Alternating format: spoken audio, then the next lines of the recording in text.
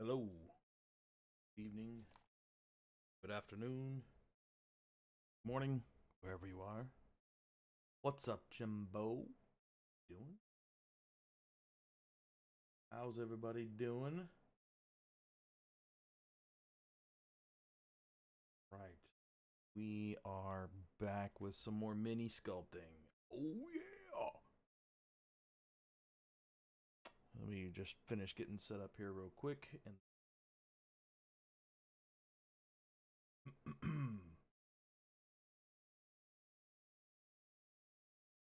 Okay, that's good.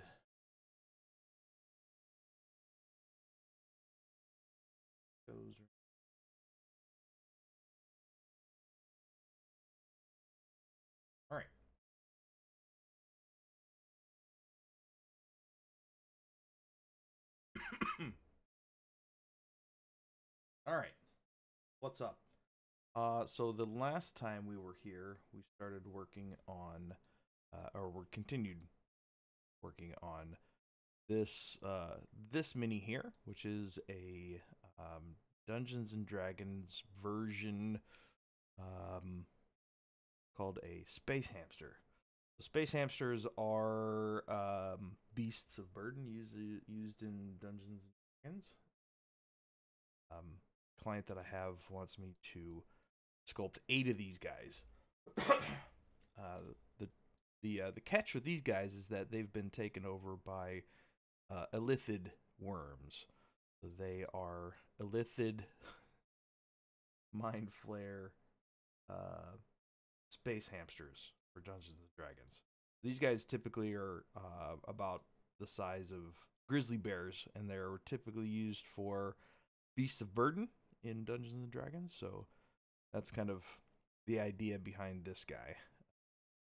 You want to uh, go back and watch the last stream, it is on the Pixologic um, YouTube channel, the ZBrush YouTube channel, under the live.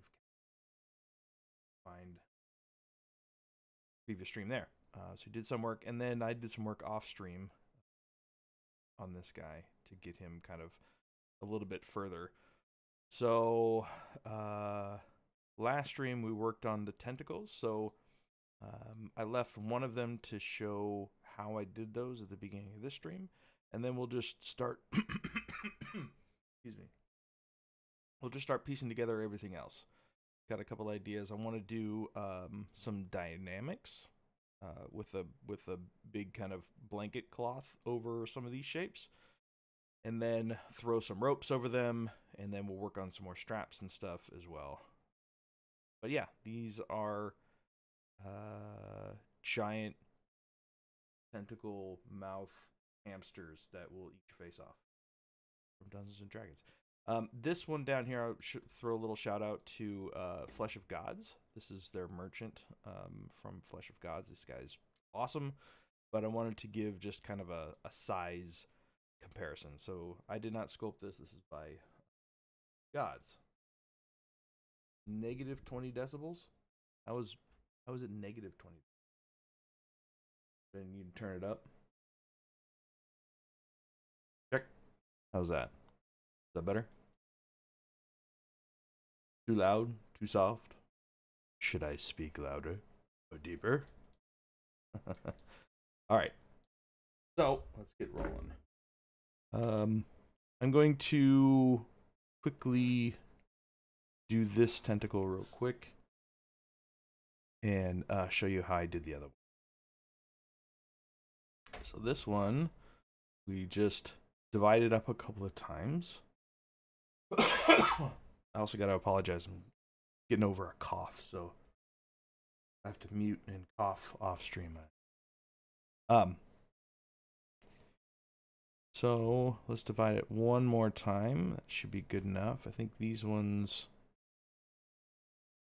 All right, so the first step was to use some dam standard and map out the outer and inner. So the, the kind of the bisecting part here. So I want the outer part uh, of the mouth to have this top section. We'll start kind of just mapping out how I want that to wrap around. I think I may need to go one more.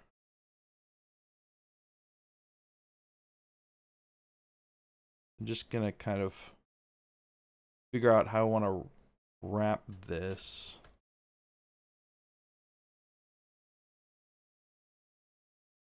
So we see the outside of this one, the outside of this one, the inside of this one, so maybe we'll see the inside of this one. So maybe we'll have this kind of wrap around this way so that it exposes the bottom side to the front. Something like that. So now that I have that one done, I can start to what? Because I have lazy mouse on. There we go. So now I'm just going to make a couple of marks here. So this one at about here. And then it turns in this way. Gonna go right about like that.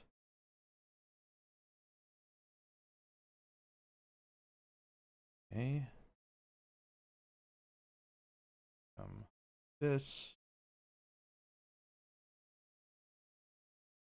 All right, let's see if that feels about right.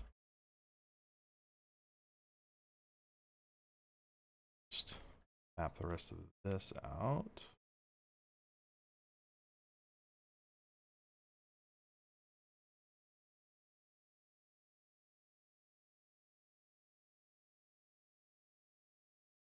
I'm being real loosey goosey with this to just kind of give that nice broken up organic shape flavor.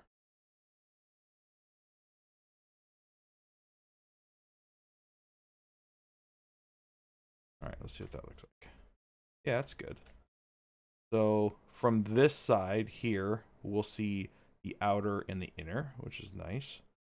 Here we have a nice it's about it's a bit halfway, which is it's not the end of the world.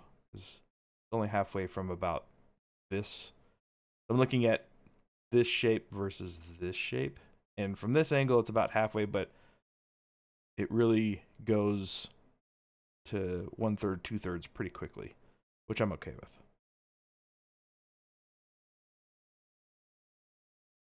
Yeah, that's good. Okay, so then we do the outside. Just take uh, our standard brush here. Just need some more intensity. Just start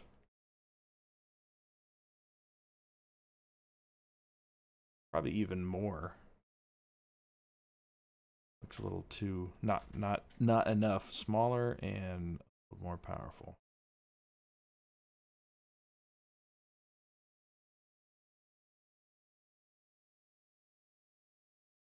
Because you really got to make sure that your viewing distance is um like you're you're playing to your viewing distance. So for miniatures, you know, this guy is probably about three inches tall. So if he's on the table, he's probably going to look something like, like this. So you really want to make sure that whatever details that you put in there really stand out and uh, make a mark from your, you know, 90% viewing distance. Probably want to do it even more here. Actually feels like that's not, is it halfway? Yeah, it's about halfway. Fine. All right, so make it just a little bit bigger. Let's just do a couple of tests here.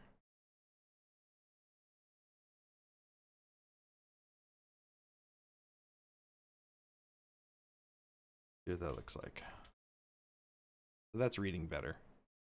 Start to see a little bit of the shapes. It's echoing here. Should echo maybe a little bit stronger on this guy too. Thinking maybe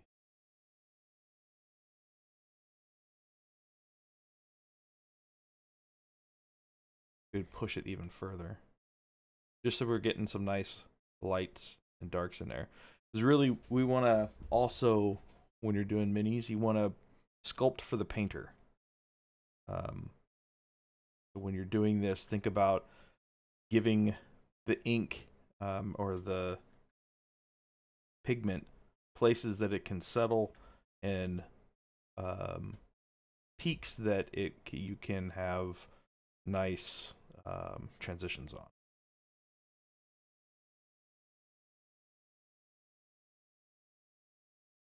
What's up, Nadira?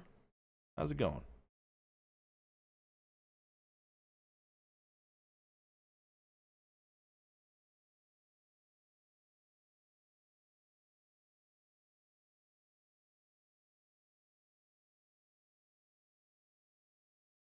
Getting super lumpy, which is I'm not liking it because I I think it's because I had Lazy Mouse on. It does some, some weird stuff. Oh, I want it to be a little. There we go. That's a little bit better. We'll just kind of haphazardly throw stuff in here to give it more of that nice organic feel. What I can do too is if I don't like something, um, I can actually set a uh, uh, store morph target. And then if I'm coming in here and doing stuff like this,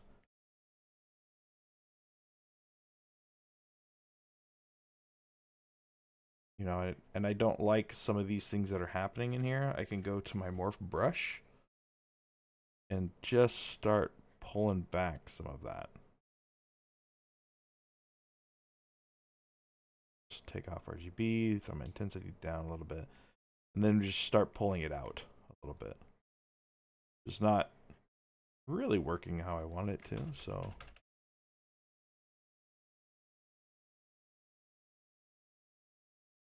Sometimes it takes a couple times to do, which is fine. What's up, Lord Luigi? How you doing? let's go back to standard. And then, yep, that's fine. Maybe we'll just be a little bit more deliberate here.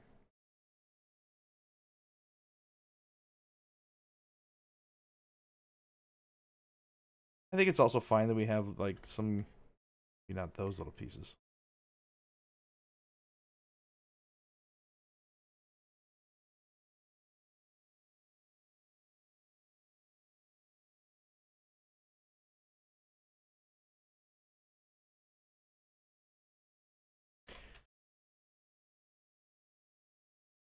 Maybe a lazy mouse will be better.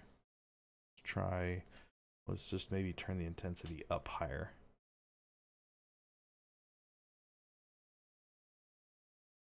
Gets a little bumpy though, which we can smooth out, which is fine.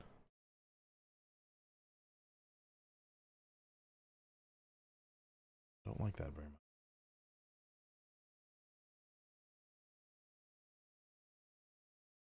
Just be a little bit lighter.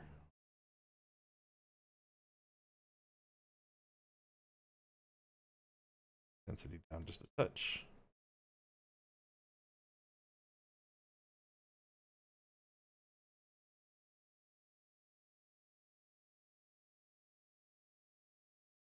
A little bit better.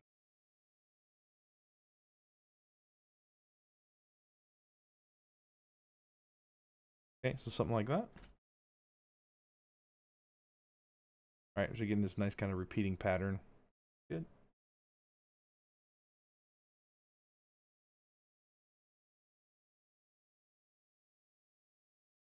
Now, now I can go back and say, well, you know, maybe, maybe I want these to be a little bit wider spread. Just kind of start easing these one way or another, just to make sure that the overall presence feels good.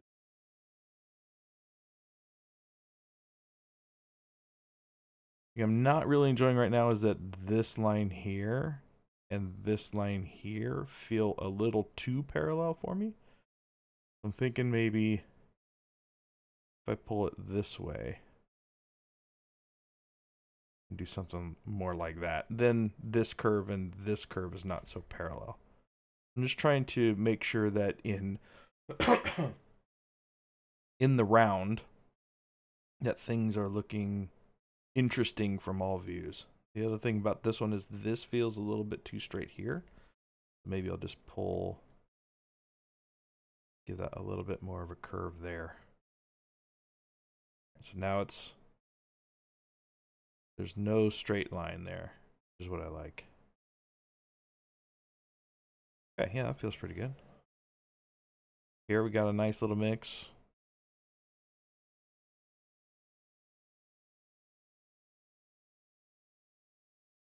Um, so on this one, we decided to see what it was like to flare out the end. And I don't, I don't, I'm not really feeling it. So just put that back.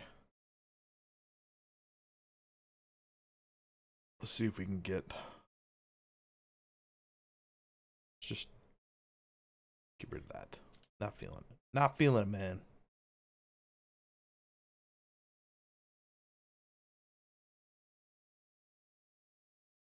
Yeah, so the other thing I do, excuse me, quite a bit is, you know, when I'm trying to just grab the the edge here, and I'm trying to just barely grab it and then pull it in, but a lot of times you're just catching the background and rotating. So I keep camera lock on a um, shortcut, so I use it as uh, Shift C. so if I camera lock it, then I can't whenever I grab it, it's not going to move. So then now I can just say, oh, I can really nice and easily grab that edge, that silhouette, unlock it, move it, lock it again, then just grab the silhouette. Super helpful. I use that all the time. Shift C. Right, and then just for printing purposes, for the fact of the matter that this is going to be a physical model and I don't want it to have ends that are too brittle, I'm going to purposefully leave the ends not crazy skinny.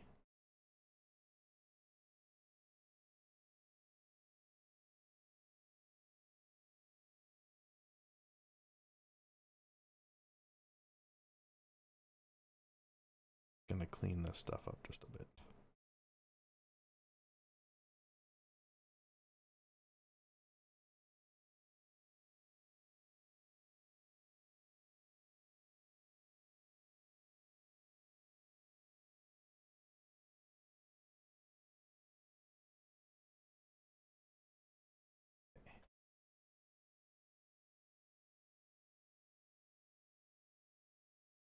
So during printing, probably what I'm going to do is I'm going to take all the tentacles and this kind of connective tissue and uh, key it to the inside of the mouth. That way, um, it's not, you're not going to be pulling supports from all these pieces. Uh, it'll probably end up printing more like this, like straight down.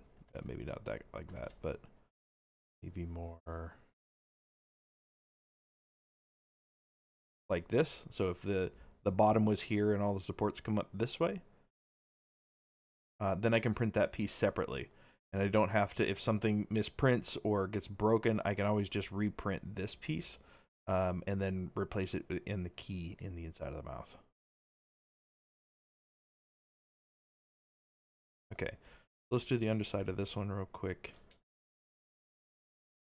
Let's see what we did. Uh, I think we used just the alpha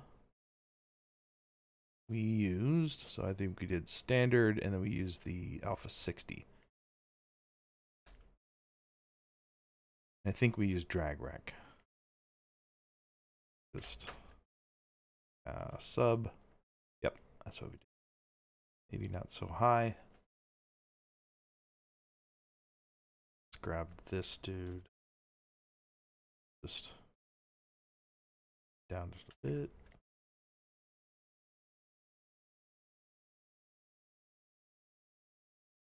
This I don't think this is the final look, but it's something to get the idea across. Will come and refine some of this stuff later.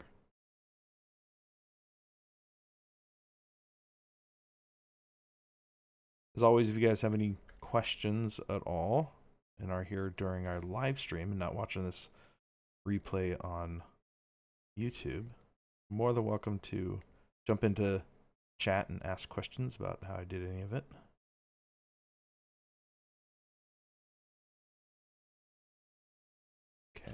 And let's get a little bit more definition. Through the bisection.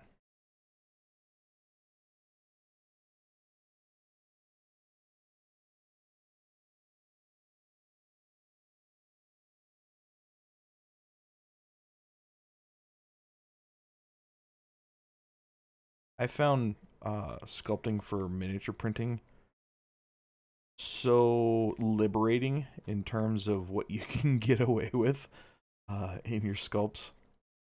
Um, I come from a, a character art for video games background, and there's so much that you, technical stuff that you have to figure out during the production of video game character assets that you just don't need to worry about here because everything basically gets um, baked down into one piece for the um, for the 3D print.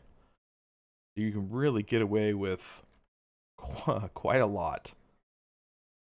Um, you'll have to worry about uh, sculpting for good material balance um, or rigging Interpenetration is not an issue. Okay. I think that's okay for right now. Matches the tone of all the other ones.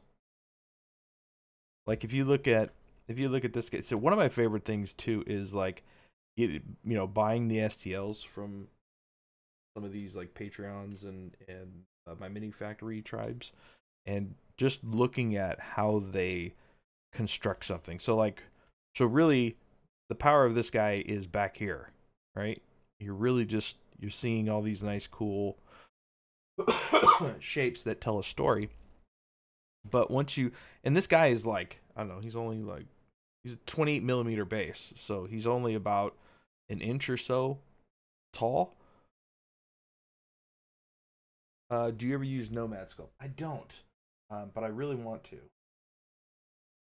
Actually, uh, that's the iPad one, right? Billy? Um, I think I bought it and I just haven't had time to actually sit down and learn it. Uh, but I've messed around with it a little bit. Yeah, yeah. Um, but now that uh, ZBrush has announced that they're working on an iPad version, I don't know if I'll ever need to, which I'm really excited about. Uh, but like as you as you like zoom into this actual model, things things become very apparent during the production um, of this. Like, look how thick this uh, strap is. Like, it's it's friggin' massive. It's almost a, a cube, extruded cube. Um, like the uh, the hair, uh, in particular, like these pieces here. Like, there's no undercut to these at all. They just they literally just go back into it. Like, if you look at the um how they decimated everything, like it's all it's all connected. It's all just right into each other. And you don't have to worry about having like all these super duper clean edges and stuff back in there. Uh, and this is the actual print model. This is what I one I actually printed. Um, I don't have them anymore because I gave them to I gave them away. But you see, like, you don't have to do all that crazy little detail. Like everything just kind of gets put together. As long as your your reads from distance are correct, that's what matters, right? So like when you come into these bottles, you know, from out here, like wow, that's a lot of holy cow, that's a lot of detail. But really it's not the surface detail that's important. It's the amount of like depth of of things. So, you know, this plane out here to this plane in here. You know, how far this piece comes out from from this. So like things are like extruded out quite a bit, and even the um the uh the complicated looking um shirt when you look at it you're like wow that's actually not really that complicated at all. Like the the, the sculpt is not crazy minute detail kind of thing. Even if you look at the um like the arrows back here like the arrows are like the shafts are super thick because they need to get printed.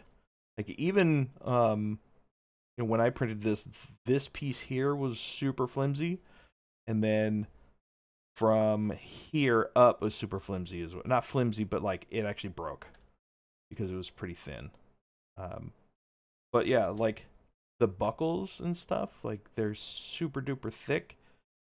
Um and everything is a lot simpler close up. So that's the kind of the freedom of um, of 3D print is that you can just don't have to get so crazy detailed.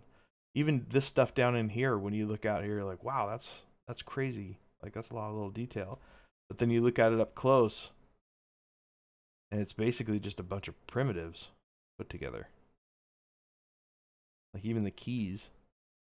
But again, like you're seeing those keys from about this size. So it's really liberating when it comes to like how much detail do you need to do. So I'm looking at this guy and going like, "Oh yeah, these shoulder pads are like way too thin."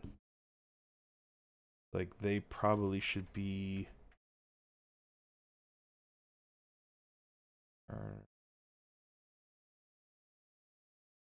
that. I think I can do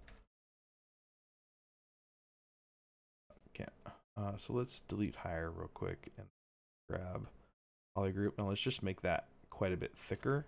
And then maybe we'll do a, um, a bevel on this. So we'll do bevel, edge loop complete. Just, oops, maybe we'll do edge loop partial. There we go. We'll do something like that. And then this guy will actually bring out more like that. So you're really seeing more of the the silhouette break, which is much more powerful than it actually was a minute ago, right? Poly count doesn't really matter when you're printing, uh, as long as it's not crazy high. So like, what I what I tend to do is I look at like how many subtools each um, each part is that somebody has already manufactured. So this guy is all one print. He doesn't come uh Oh, sorry. The the base is separate from the um the body, but the body is all one print. But if you if you look uh, you can see from that there. But if you look at this guy, he's only 150,000 polygons. Is that right? No, 1.5 million, which is not much. I think um, for each subtool or like a piece that you're going to print, I would probably stick somewhere between, you know, upwards of two or three million maybe for each piece that you're printing. Or around there. But like you can see, this guy has plenty of detail. And it's minus this, all, all of this too. So Decimation Master is your friend.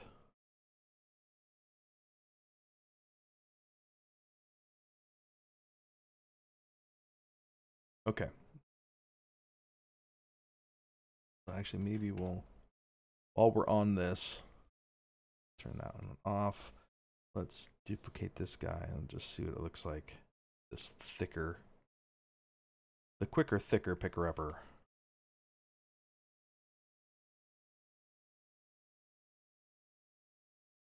Yeah, about 1.5 minutes. But I think they could have gotten even down even further.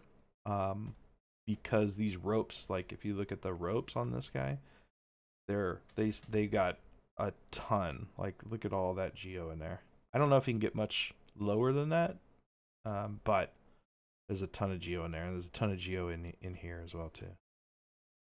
But um, great ways to do it is just you know uh, take you know, 20 bucks or so, 30 bucks, and um, go to find some great Patreons for 10 bucks a month and um, buy their STLs and look at them, study them, see how they're doing it. So, like, for me, I I, I do um, Arch Villain uh, that are uh, amazing. BCRM games is amazing. Um, Flesh of Gods is great. Uh, they do mostly 32 and 28 millimeter um, work, uh, but uh, Witch Song is actually the other one. They do amazing, amazing stuff. Uh, that's probably my favorite one right now is Witch Song. Uh, can you please give us tips for making sculpts watertight shapes? Best way to combine. yeah, it's super easy. All you have to do is decimate it. I'm not decimate it, but uh, dynamesh it. So once you dynamesh anything, it'll make it a closed uh, shape. So let's say if I want to make this and this and the arm like a closed piece, what I would do is, uh, let me just shape this real quick.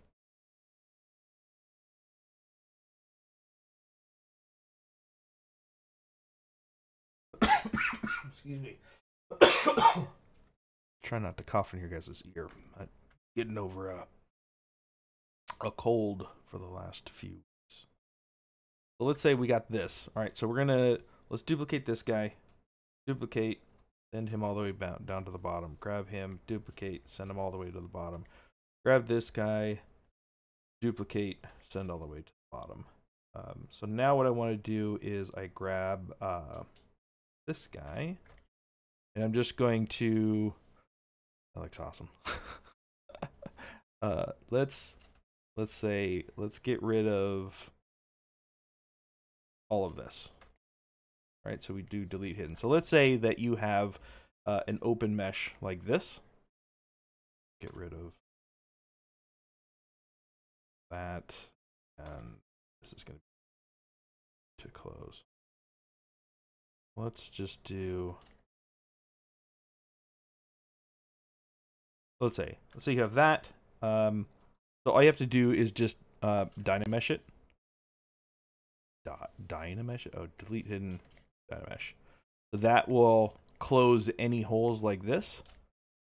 Um, and that would just make sure that you clean up any edges because you'll end up getting weird things happening. So maybe we'll do that delete hidden dynamesh, close that, like this. All right, so then we'll take this guy here. Um, we will make sure he doesn't have any. Okay, so then we'll do merge down. Fine, merge down. All right, so you got these three pieces that are separate pieces. Um, so all you have to do is um, dynamesh them like that. Right now it's now it's all one piece, but you want to make sure that you dynamesh at a high enough resolution. Right, so like maybe like this. Right, and then you may have to go through before you do dynamesh and like fill a bunch of spots and stuff. So like there's there's plenty of times when you'll need to like maybe we'll do like an insert mesh and then we'll or we can auto groups. Hide this guy.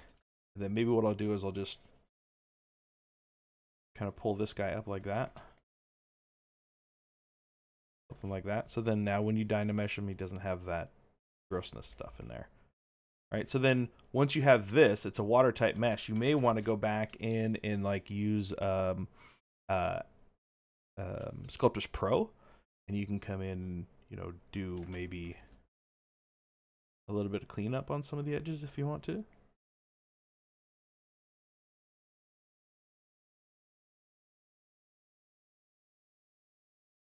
Like that. and then to get this down to a decent uh, size, you just go to Decimation Master, pre-process it, and then I would say do it by 20%, and then boom, there you go. It holds all of your detail. You have everything. Everything is watertight. That piece is ready to print obviously you want to clean it up as much as you want to but that's exactly how they did uh, this. When you look at all of these pieces together, um, they they probably decimated them separately first, and then, um, or maybe not. I don't know. A little hard to tell at some pot, spots, but put everything together, dynameshed it, and then um, decimated so it's watertight.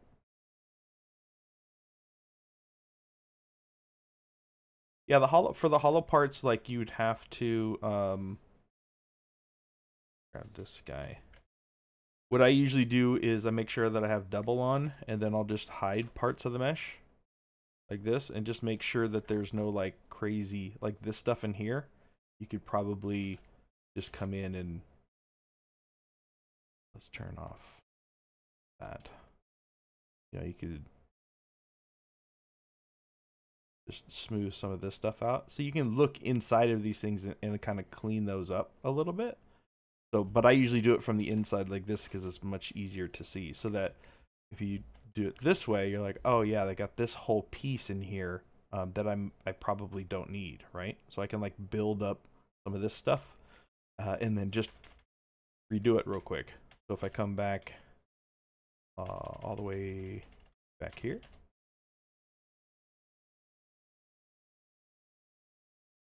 Oh my gosh. Uh, thank you. And maybe what I'll come doing is I'll just build up some of this. But this is like all kind of like pre-print production stuff. Um, after the sculpt is is done, you know? Right, because you're never gonna see that underneath there.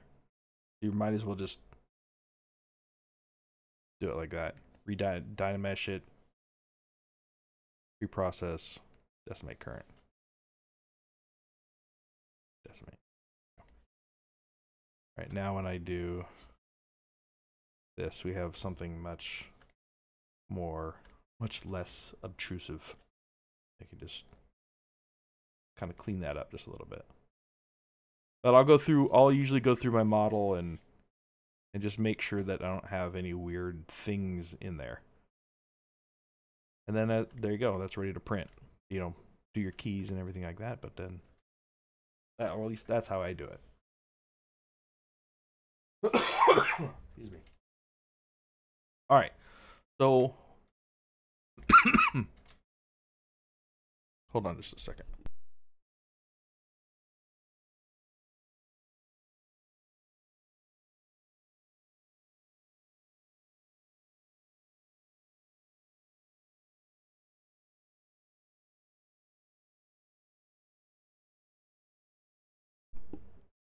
Okay. I'm back. Um, so uh I think I'm gonna show you guys how I did the the belts real quick. So I'm gonna try maybe running another one across the top just to add a little bit more interest here. So um I have a brush. Uh, where did I put that? It's not there. I think it's actually insert brush.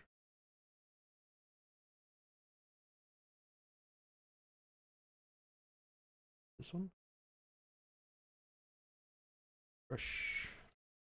Insert. Did I find this one?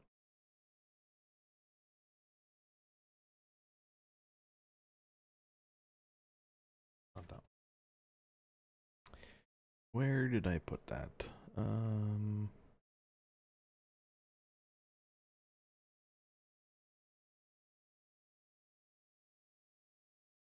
brush real quick.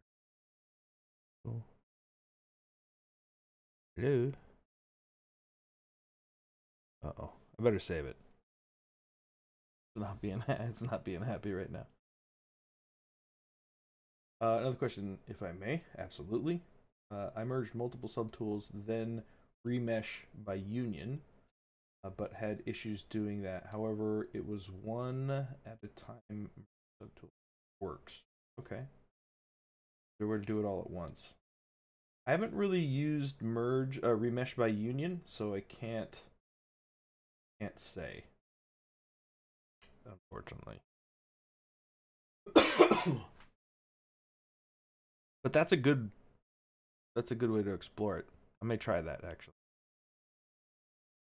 Thanks for the suggestion. Why is my light box? There we go. Um, was it in ZBrush testers? Nope. Maybe it's in my third party. Did I get?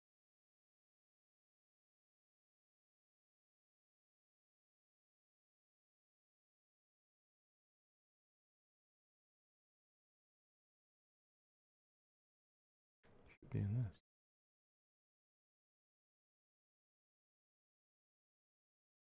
Huh. Okay, well I can't find that brush. Of course, now that I'm streaming. Uh, no. Uh, if you're looking for great brushes and lots of great brushes, uh, I would suggest XMD.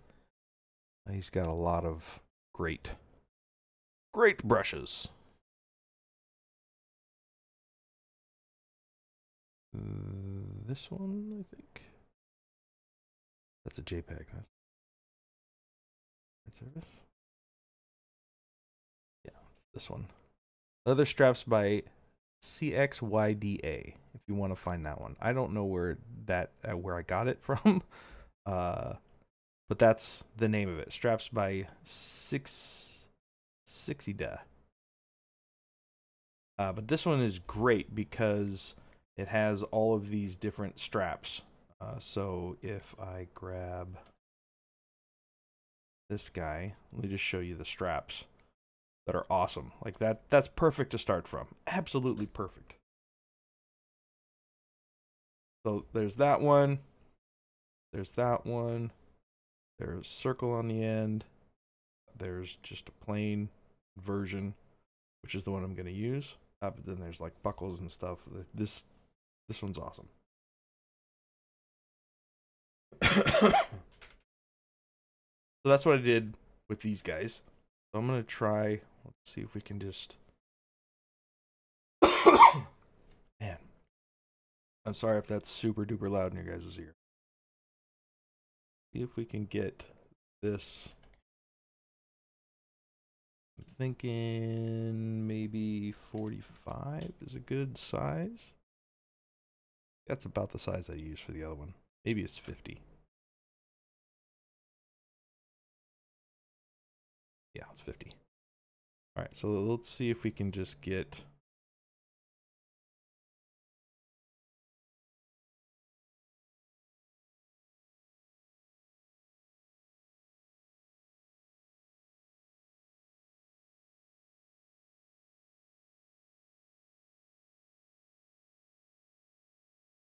Um, you can use your depth, and this one is uh, for brush placement. It's under brush depth brush placement. I use that quite a bit. So I pull it out onto my UI. All right, so I get it to about something like this, and then I, I just grab and drag one side and then the other, and it usually uh, tries to kind of fix all of this around. So, um, I'm gonna go to stroke. Stroke. There it is um, modifiers, sorry, curve, and then I'm going to make sure that I put on bend end as well. Uh, that way I can change both sides of this curve.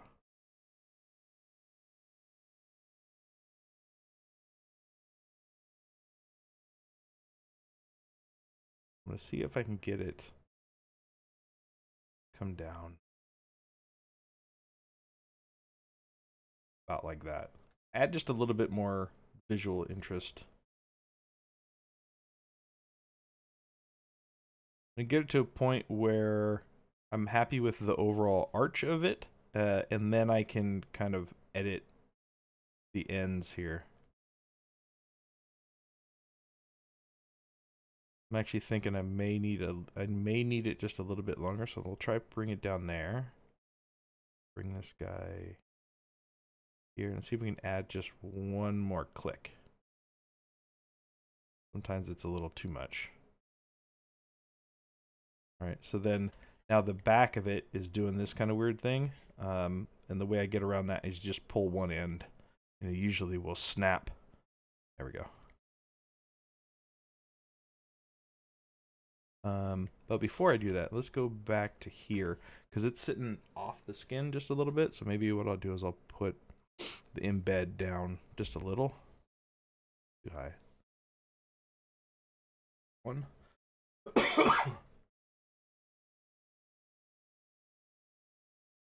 you go. Oops. I think I can work with that. All right, let's try that.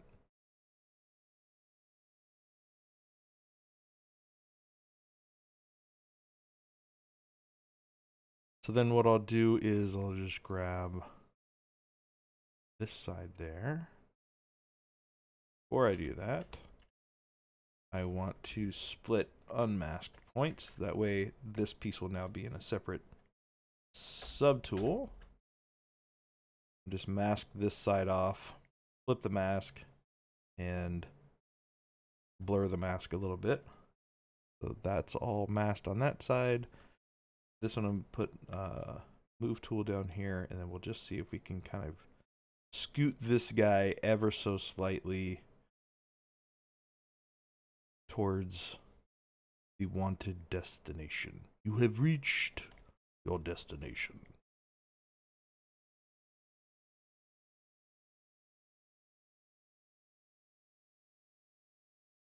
Let it save.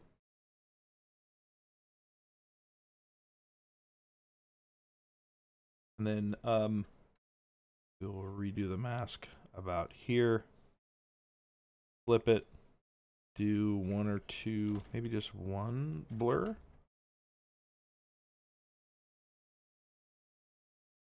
We'll just inch it ever so slightly towards where I want it to be. Now I got to be careful here because I'm going to create a lot of um, a lot of room underneath his skin, like the root between here and here, and that may get broken kind of easily. So, what I want to do is I want to make sure that this thing is probably quite a bit thicker. Mostly because if I'm looking at it, it doesn't have a lot of value in terms of silhouette breakup. It only has, you know, when you paint it, it'll have graphic breakup. so I want to make sure that they stand out quite a bit more. So what I could do oops, is grab this guy. Oops. And so how do I make all of this thicker? Let's do auto groups, and I don't want to affect the little um, thingamaburbs here. So I'm just going to split those off into their own ones. And then what I'm going to do is I'm going to use my Z modeler tool and I'm going to use QMesh polyloop.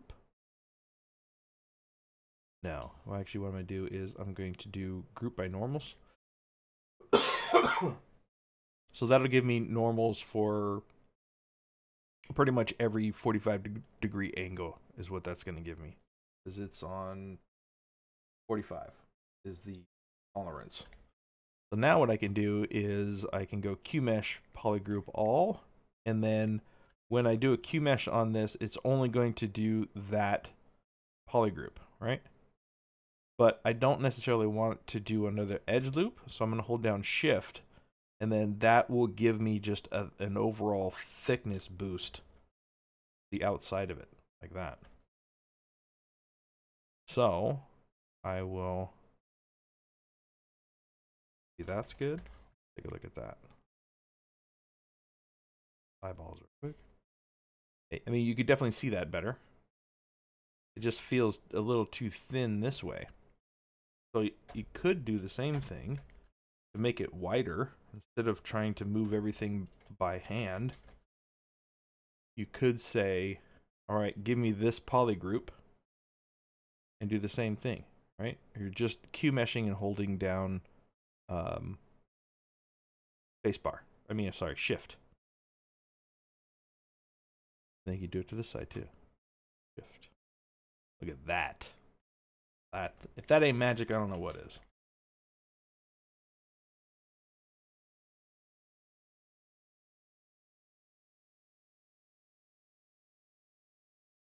Uh, advice for chainmail? Yes. Use um. Yes. Use micro detail, uh, micro uh, micro mesh in geometry, sub uh, dynamic subdivision. Use micro poly, and then when you're done with that, um, hit apply, and it'll make. Uh, all right, so let's say, all right, you, do, do, do, do, let's say, need something flat ish. All right, let's do this. What I would do for it is uh, let's append in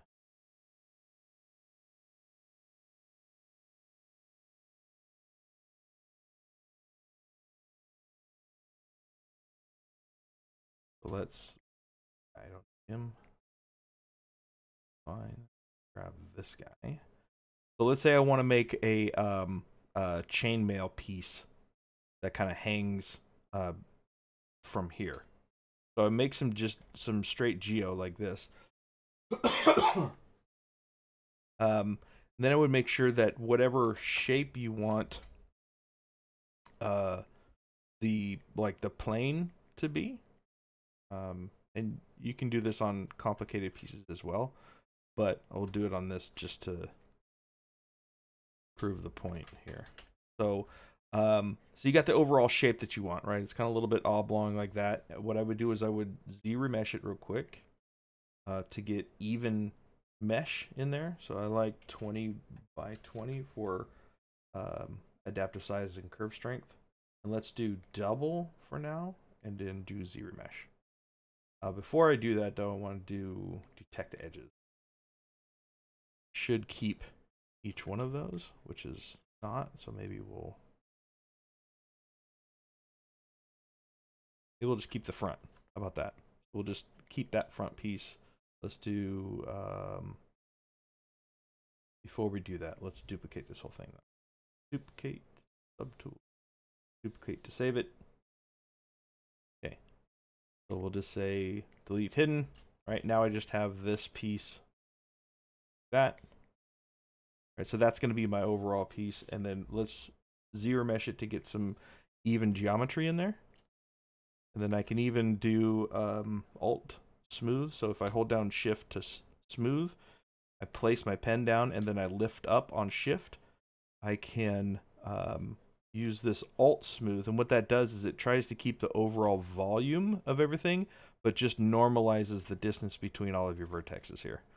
So then now I have some good even geometry in there. So I go to um, dynamic subdiv. One thing quick is if you do a subdivision on something that doesn't have any creases, you'll lose the border. So in order to fix that, you just do crease by polygroups to put a crease around the entire thing. Then when you divide, you don't lose the overall um, uh, volume of your out, uh, outside. So I usually do that and then I turn on dynamic. And then down here, we're going to turn on micro poly and then go down to the um, whichever one it is. Say, oh, is there one in here? Something like that. All right. So basically, what that's doing is it's cre- it's it's saying for every um every one of these uh planes, uh, we're going to put in one of those repeating patterns let's say let's align everything let's make sure they're welded. That's fine. Doesn't matter. So then we got this right? Easy peasy lemon squeezy. So when that's done so these are all instants right now. So when you're done if you hit apply then that actually makes the real geo for you and it's on this like nice rotated, you know, the plane that you wanted to to be in. Uh, so then I would go through and let's do auto groups real quick and just get rid of these extra pieces. Right, go through and, delete all those pieces. I'm not going to do all of them. Uh, but then what I would do is now you need some kind of backing for this, right? Because you don't necessarily want all of those holes in your print because that's going to be a nightmare to print, a nightmare to clean, a nightmare to not break. So now that I have this older piece in here, I can actually um, use this piece. So let's grab this guy. Um, let's duplicate him one more time. I'm going to fill in a bunch of those holes in there. So let's delete.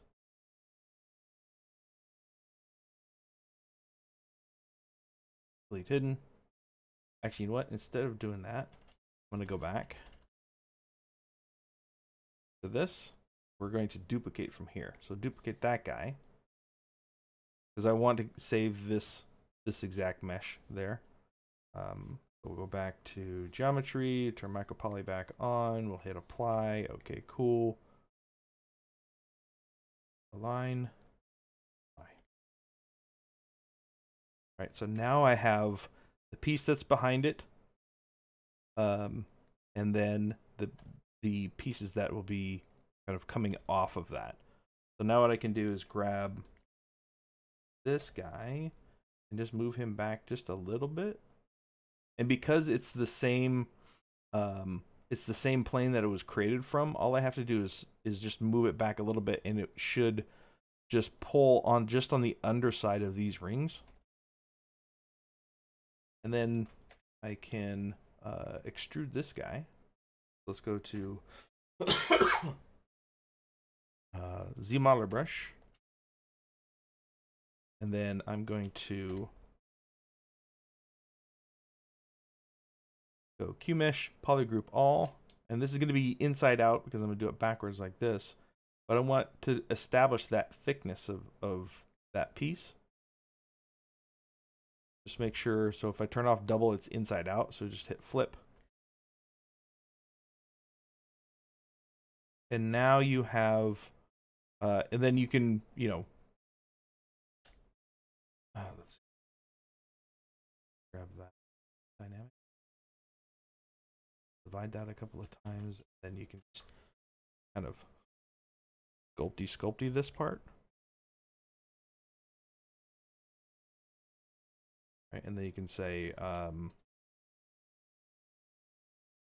maybe we'll do inflate. Right, you've got this.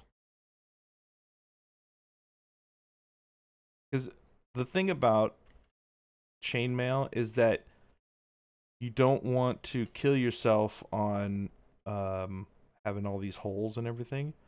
So I typically will do my chainmail like on a plane or against something so that um, when you when you print it it's only it has something to to live against but still gives you the idea that that's chainmail That's usually how I do chain. If I have a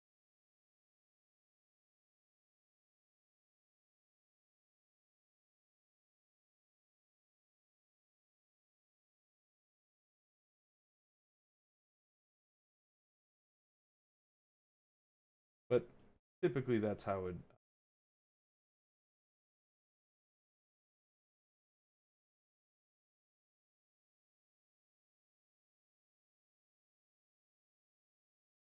so something like that.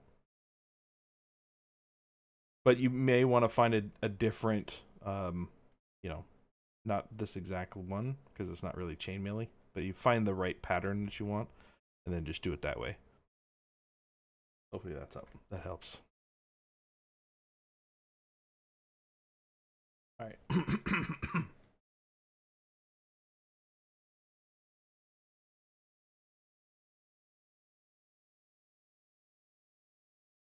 Uh, how, how do you do retopology on that? Oh, well, since this is for print, we don't worry about retopology. Um, you would just decimate it right? So if you want to do that to that piece together, like if you want to get that piece ready for print, then you would um, this guy and this guy.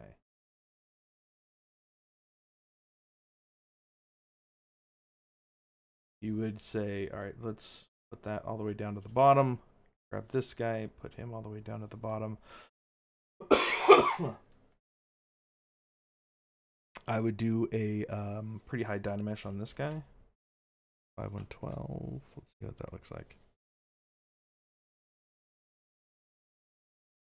Maybe 1024.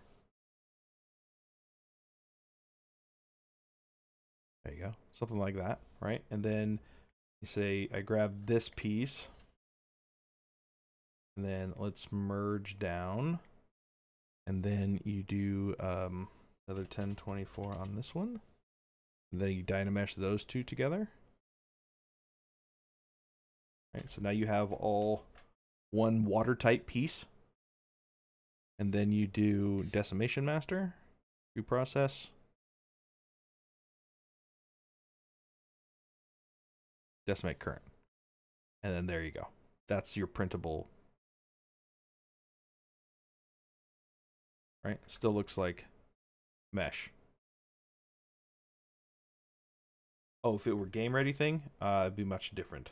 You would probably do that in the material. You just bake, yeah, you would bake all this information into basically this plane that lives behind it. And then you would make sure that you would you would have like borders on this uh, that would kind of cover up um, the ends. Like if you look at um, Geralt's uh, armor in Witcher 3. Like he has some really nice uh, chainmail on his shoulders, shoulder pieces. Uh, but you'll notice that uh, they all have borders on them. So like all of that information like lives inside of what these borders are. So that when you move it around, it looks like it has depth. But then as soon as you get to this, like you see the, the ribbing on either side. So it lives all in the material. So you just bake it. Bake it. Okay. Does that make sense? Hopefully.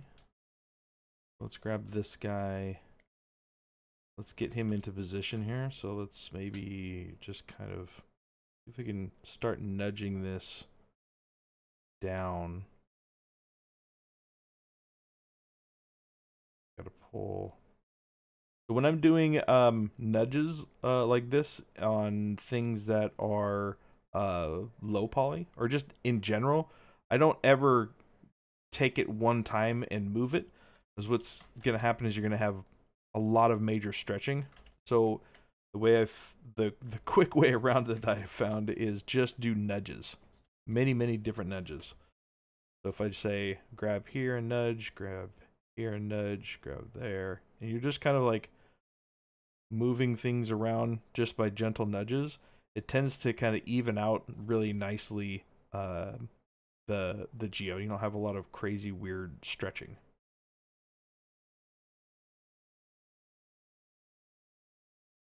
Um, there could be ways to to retain the the geo, uh, but it's really I think it's really dependent on the piece that you're trying to go for. There's definitely ways to do it. Um, you know you could if there if it's something very specific you could get down and say z remesh that piece um and then just keep like the top edges of uh the if you're going to do this as a game mesh and you want to retain some of this some of this info um you can just right? So you keep this as your high model, high poly model, and then for your low poly, you could um, you could almost just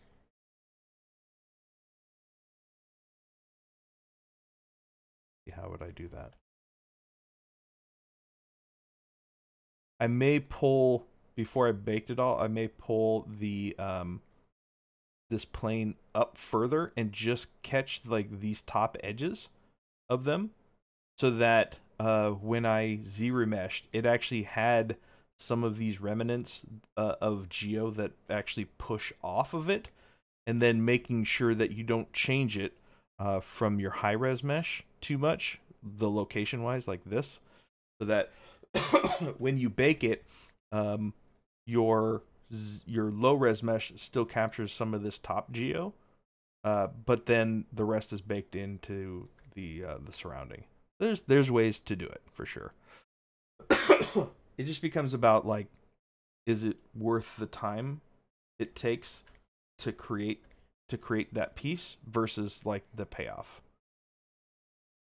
If it's a, a star piece, then yeah, you may want to do that. Um, but if it's kind of secondary, it may be way more work than the time that it takes to to do it, you know.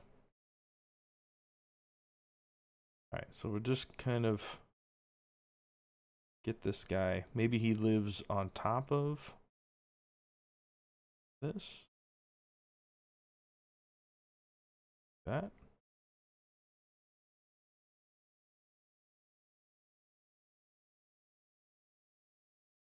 Just come in, just move these pieces around. Again, this is all this is low res right now, so I'm not too worried about like having like these little peaks and stuff because uh, I'm gonna subdivide and sculpt it once the the general idea is there. So I'm not too worried about it having these kind of like funky reggae parties right here. You know what I mean? Just do a quick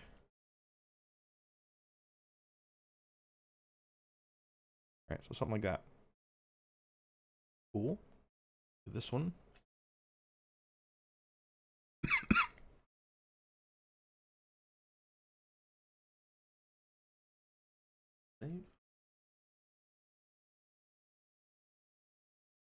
Um, the the equivalent to that, Andrea.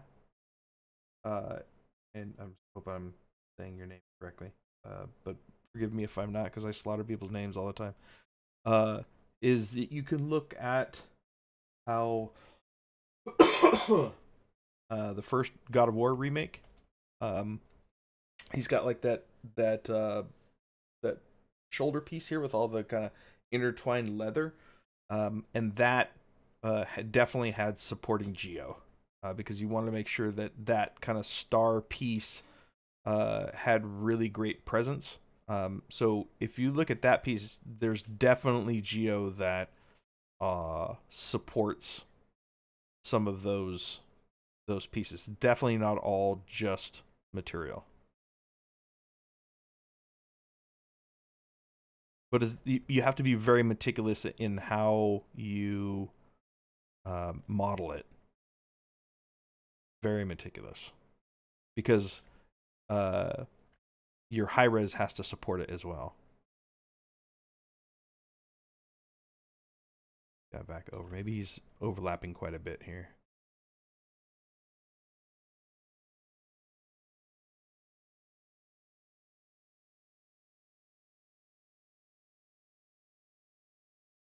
I'll make sure that the tension is still correct. So this kind of curve still, it doesn't feel like there's tension. It should be, the tension point is from here to here. So as straight of a line from one to the next as possible is the most believable.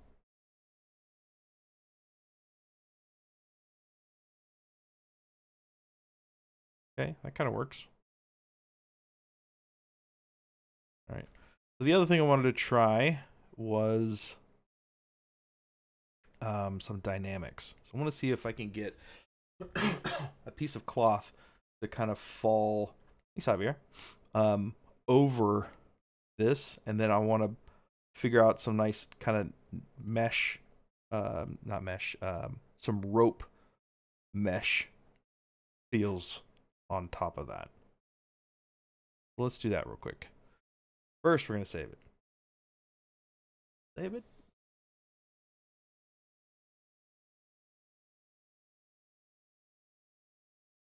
Giant space hamster illithids is what we're working on.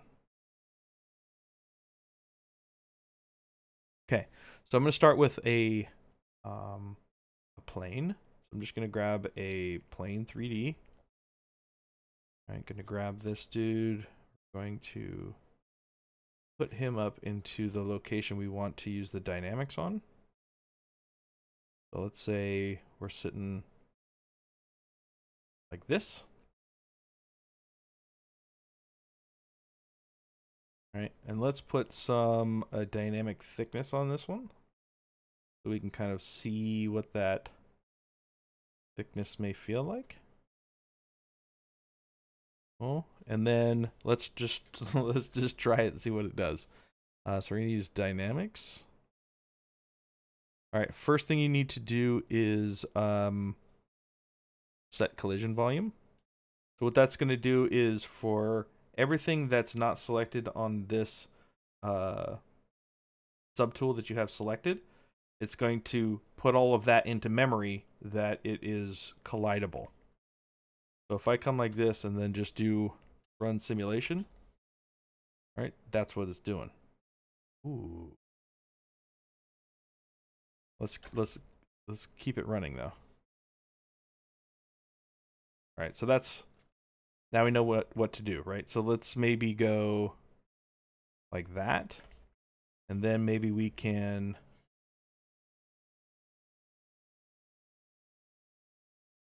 do like that and then run. Then maybe we can, let's use uh, brush move. No, sorry, it's uh, brush cloth move. The cloth slide. Cloth. Hey. Brush cloth move. Maybe what I'll do is I'll come in and kind of ease this. Look at that. Oh, love this part. All right, cloth move is taking into account the uh, when you set up the collision volume. It's saying, okay, everything that's not this subtool, I'm going to um, use as something to collide with. So then anytime you move, you use the cloth move, it's going to do those same things. So maybe like, I want to like bring this up here. Right? Maybe it's going to live underneath one of those straps. But this, I love doing this because it's a really quick and easy way to get even just some cloth breakdown and shapes into there. And then you can go in and just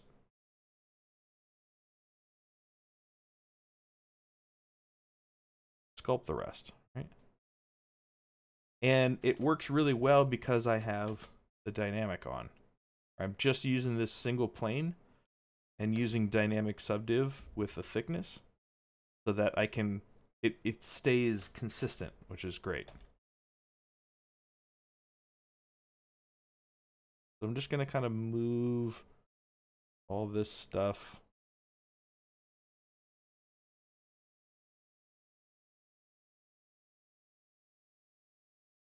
place.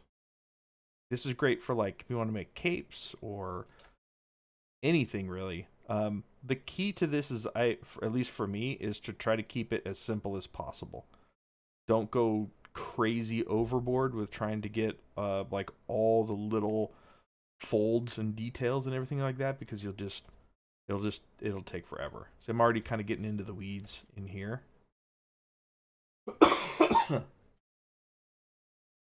So maybe what I'll do is um, I'll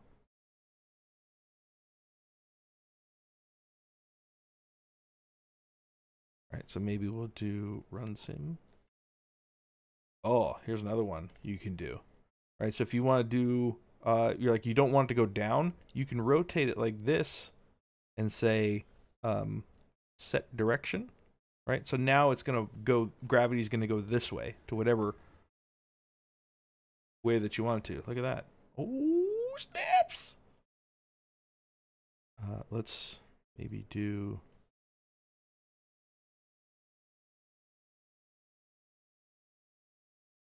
Uh, I'm also using space to stop the calculation. So I'm just kind of moving it a little bit.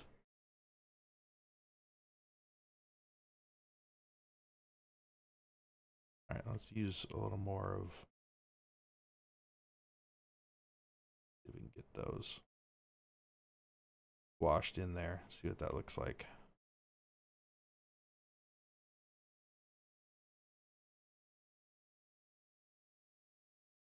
You can also subdivide one time and get a little bit more. All right, so maybe maybe what I'll do is um, I'll have a rope that uh, goes and comes underneath here, and we got a little bit of the the blanket tarp thing, whatever this is, uh, that kind of flutters back here, kind of give a nice little silhouette break up in there. Like that feels actually pretty pretty cool. So maybe we'll see if we can just smooth this stuff out. I'm just using alt smooth, so uh, shift uh, and then let go of shift when you're smoothing. See if we can correct this up a little bit. Maybe we'll undo the sub the um, dynamic there. And what's happening is you're getting a little bit of crossover here, which is why you're having some issues. What you could do is you can just do something like that. Or you want to be super slick about it, you can just maybe take this part and do polish by groups. Uh, polish by groups is in deformation, polish by groups. Look at that. Ooh, get smart now. Uh, again, uh, shift C to, at least on, on mine, to um, lock the camera. And I'm just going to try to pull some of these apart so that when it subdivides, it's actually a little bit cleaner in there. Alt smooth. And then let's go back to the subdiv. All right, so it's starting to clean it up a little bit in there. We got a little bit more to do.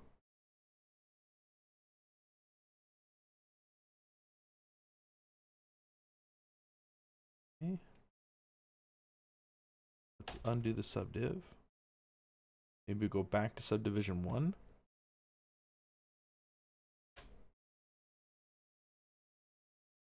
Let's just try to get these guys a little bit more even. Right, maybe what we'll do is we'll make sure that these are on the same plane. And not going all kinds of crazy different directions. All right, so let's take that back up to there. Add the subdiv again, and it's getting cleaner.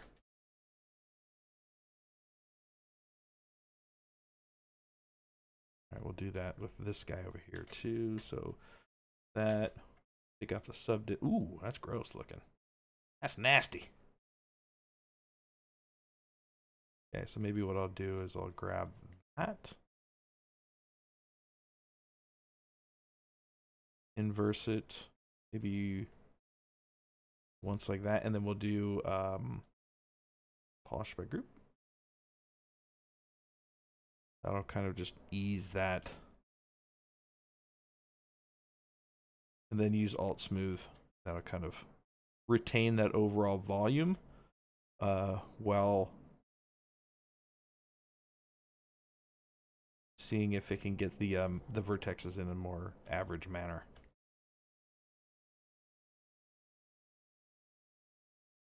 Right, so maybe what I'll let's see what that looks like. That could actually work.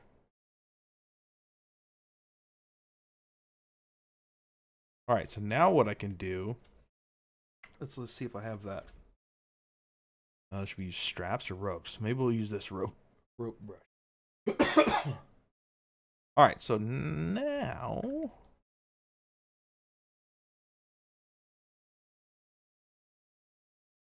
make that a little bit smaller. Now we'll see if we can get this rolling around.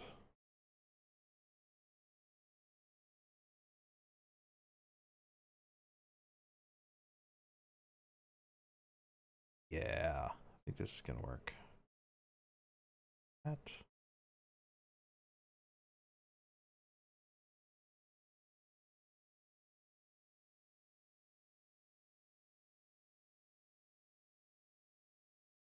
Should have started from the bottom though.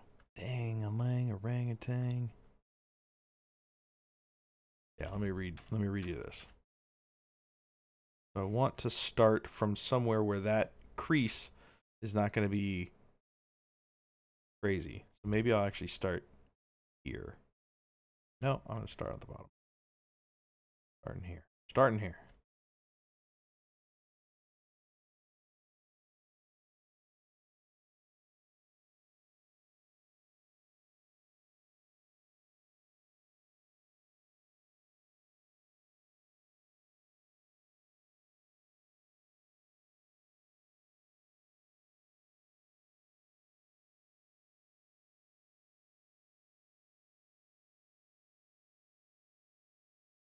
Okay, and then let's see if the brush will actually connect to itself.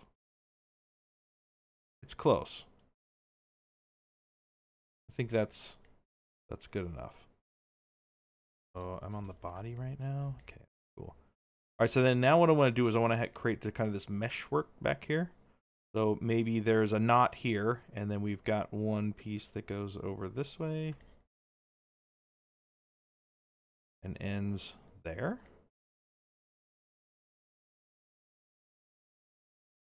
I can maybe, uh, let's go to stroke real quick and make sure that both sides are on.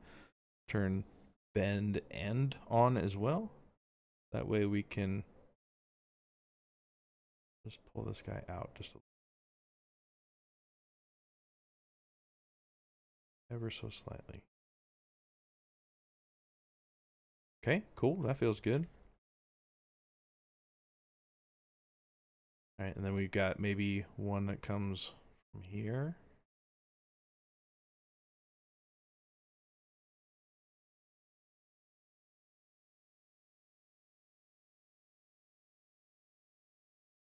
So this happens quite a bit where um, when you're going over something like this, uh, you get this type of feel. So what I'll what I usually do is I'll leave a little bit of room on either side that I can pull from each side.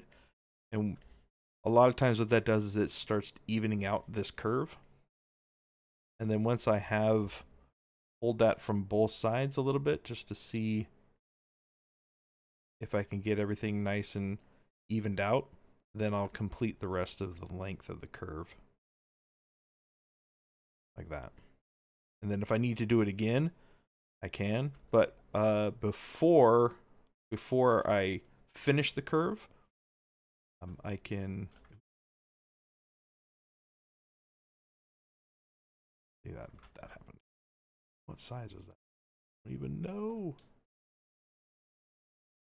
Uh, let's say 22 maybe. 19, 20, 20. 21. There you go. Let's say let's say it's 21 is the size. Uh, when I hover over this, you see how the um, reticle goes that cyan. That just means it's the edit size. So if I go over it, or so if I leave it, it'll go back to the um, the draw size. But if I go here, so I have two different sizes that I can um, that I can use where I'm having the curve. So in this one, I'm just going to grab these parts and just pull them up off of that just to ease that curve just a little bit.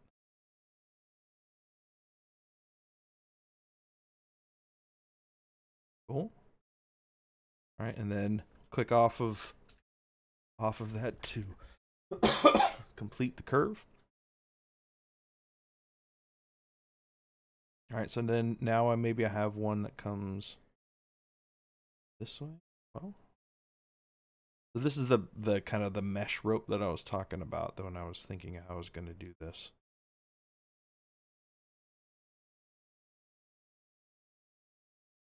Ooh, that doesn't look good.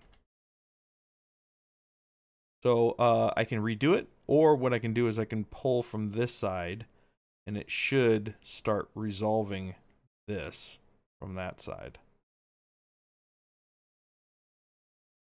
And then it just gets all nasty and gross. So let's just redo it.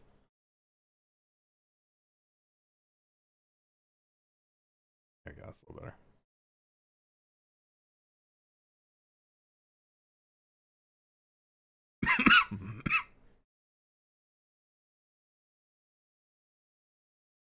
All right, grab this side and pull it just a little bit. It's getting a little wonky do in here.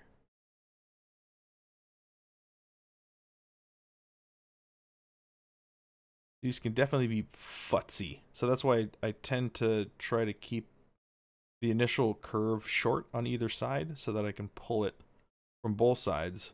See if it can just figure itself out.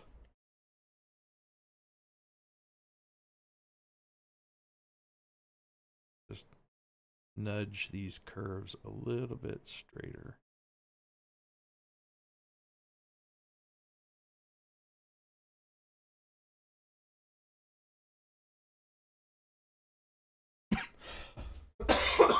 Excuse me. Hold on.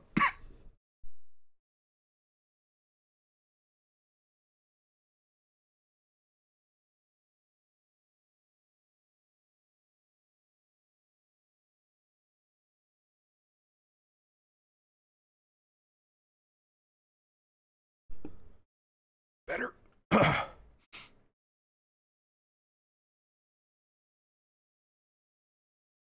so that's that should be okay. Then we'll see if we can get another one side here.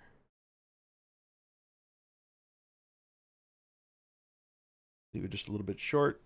Pull it from one side. Pull it from the next.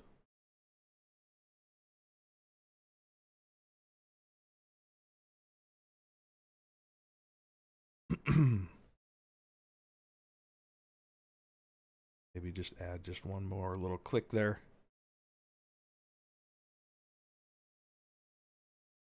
Whoa, buddy, what are you doing? All right, let's just leave it like that. That's fine. All right, so then now we'll do, we'll let it save, then we'll go from there. All right, so maybe it's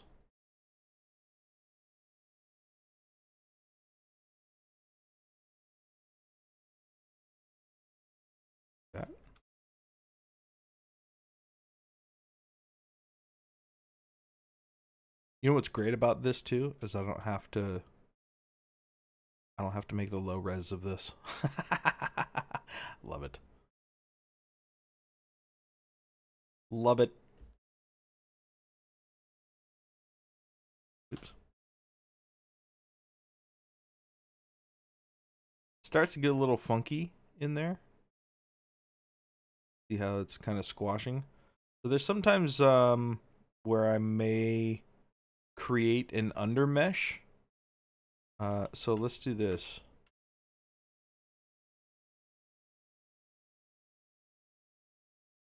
Um, what I'll do is, you know what? I want some of these to go in between as well.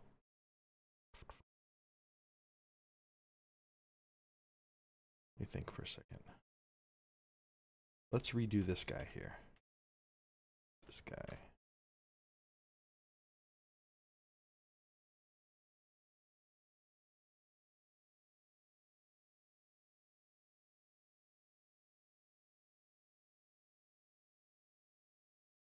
I'm thinking whether right now I'm thinking about whether I want these to um you know when you're knotting these, does it come in like this, do a knot, and then come this way?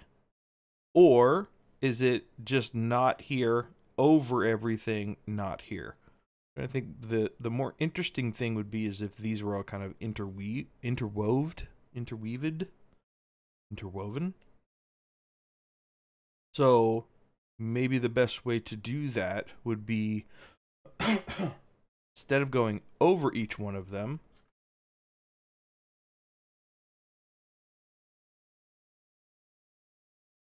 I can.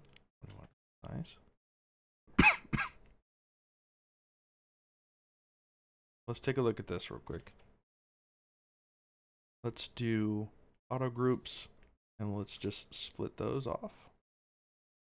All right, so now they're not part of this auto this group that I'm using to draw on. So what I can do is um, Maybe I'll actually draw on this one for now. So let's duplicate this guy. Turn that one off. and we will make this guy an actual mesh. Right, so he doesn't have any subdivisions. He doesn't have any dynamics on. Excuse me. I can retain this version of it. I'm just going up and down in my um, subtools. So I can retain this version of it, which is the subdivided uh, and dynamic one.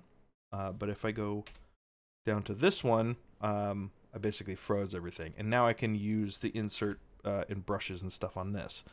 So by doing that, I can, if I do uh, turn on ghost mode, like this is, uh, shoot, where is it? Uh, render? No, it's in transform. I don't know why it's in transform. But if you do transparency ghost, then you can still see what's there, but it doesn't take into account any of the calculations. So now what I can do is I can come in here and draw this guy again, and it won't calculate this intersection of the rope. It's only calculating what's on uh, my current subtool. I'm doing that because what I want to do is I want to uh, end up making a um, an insert brush for the knot and then just throwing the insert in here and having all like one cross, one cross, and then throw the the knot on top of it, and it makes look look like it's tied basically. So I'll just have them go through like that, which is fine. It actually works works good. So we'll keep the transparency on. Cool. Good. Excellent. So we'll finish that, and then from there, we'll do split unmasked. So then we can start again from that one. So now I can make this one here.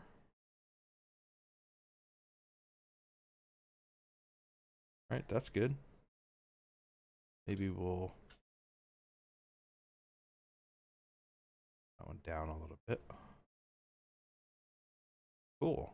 That works. Oh, nope. Shoot. Uh, that was 21. That was 21. Okay. And then we can complete it and then do split unmasked points. That one. All right, we'll just continue to do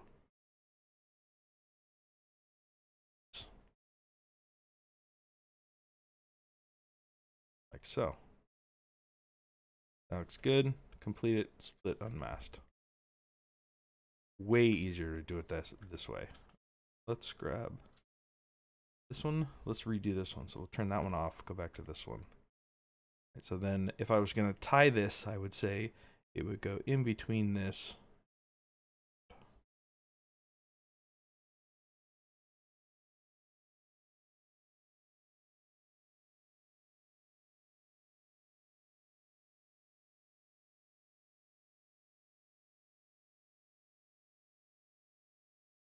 Give me one second.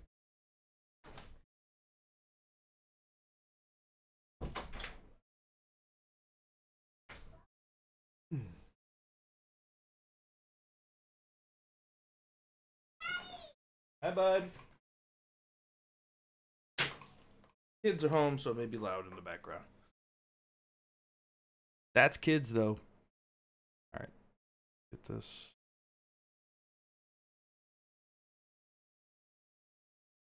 Shane, what's up, dude? How you doing, buddy?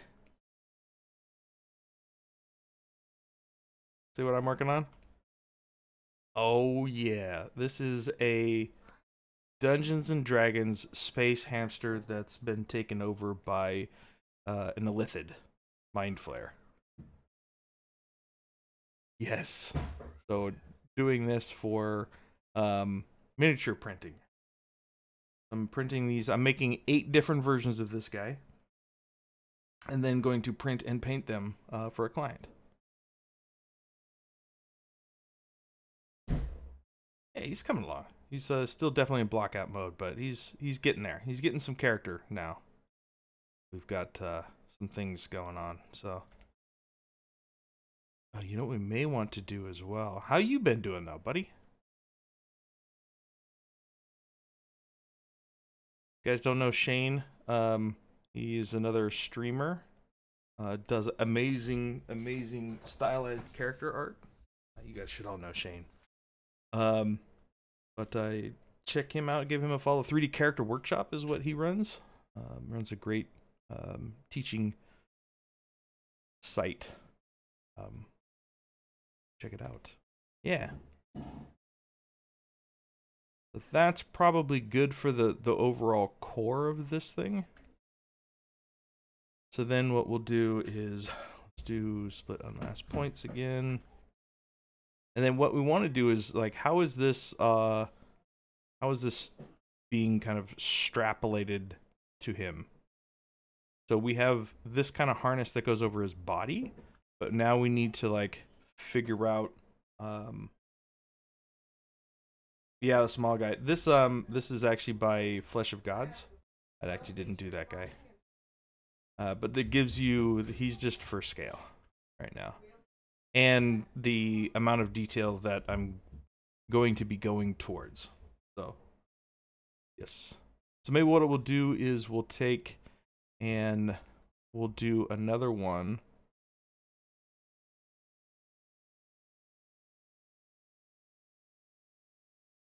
that connects over here. Is that the way to do it?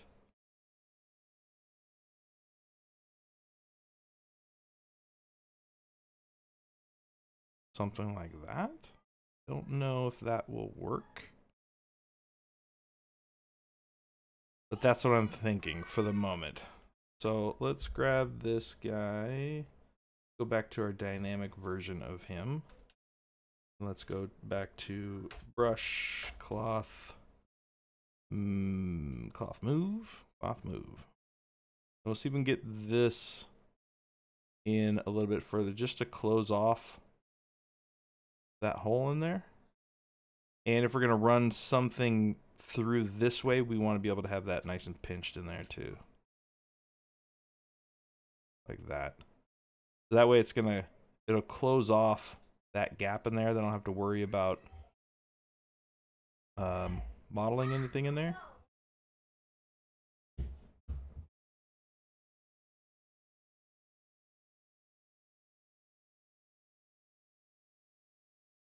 I can just push that in later. It should be fine. Um, but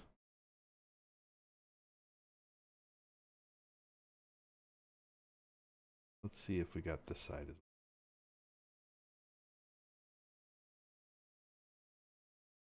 Shane, how was the um, ZBrush Summit? You actually went this year, right? Missed out next year. Going next year.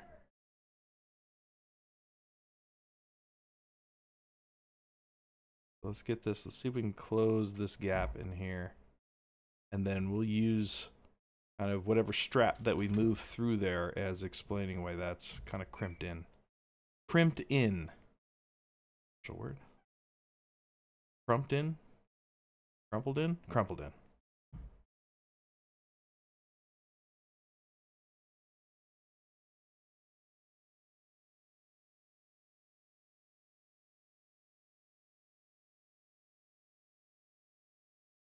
Okay, so something like that. Good fewer people than I thought. Yeah, the first time back in a few years, I, I'm not surprised.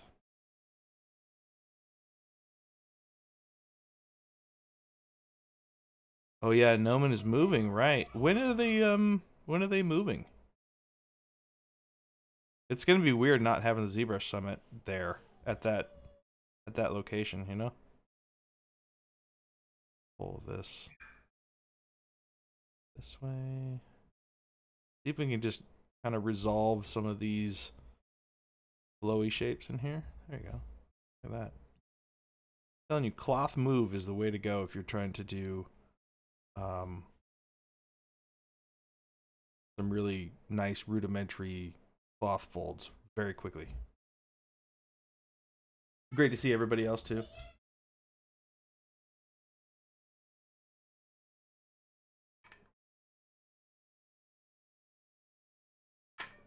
Yeah. All right, so let's let's now grab so because we changed this one, let's actually, we don't need this anymore, so we'll delete him. And then we'll grab this guy, we'll duplicate him. And then we'll um, delete lower and apply so that this is now just a regular mesh that we can draw uh, on. So let's go back to 21. We'll go back to our rope brush. Ropes. And then maybe from the same location there, let's actually turn this side dude off quick. Get out here, side dude.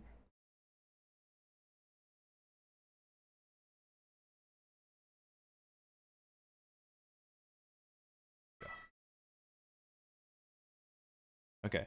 So then we'll see if we can get this guy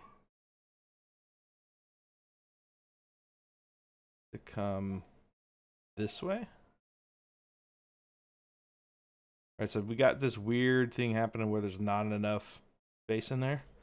So typically what I'll do is if I'm running into that, I'm just I I will like just brute force it. Um I'll take just any old shape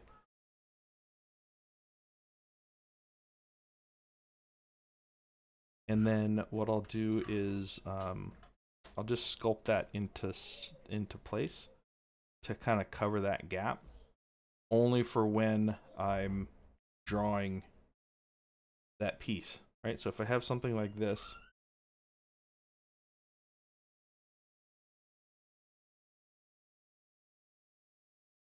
right and I come up like that all I needed to do is is to just Oh, okay, 21. All right, let's go back to our rope brush. Right, so now when I draw through here, it takes that into account. Like that. Down, that one. And then I just, I don't need this one anymore. And now it just goes in the direction that I need it that's how I usually get across or get away uh, get around that let's go back one turn that guy back on for a second.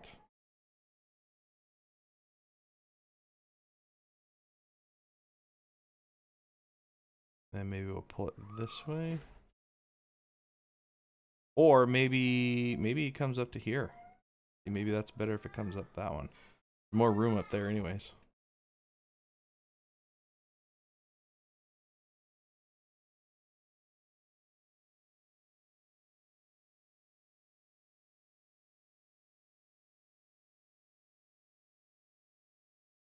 Cloth smooth, yeah. I gotta try that one too. I haven't I actually haven't used many of the cloth brushes, which is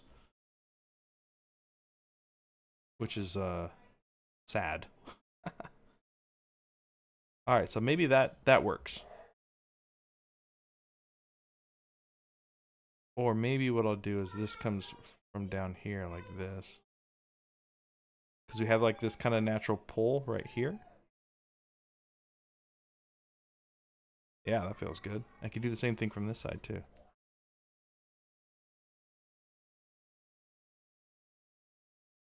All right, see if we can fix that little crumpy spot.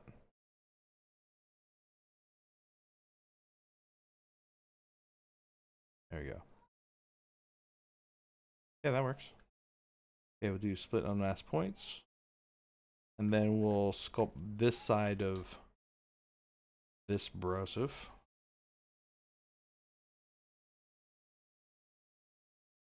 And I want it to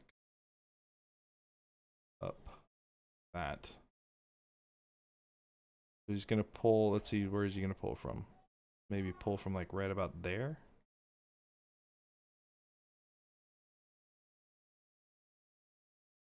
Just going to.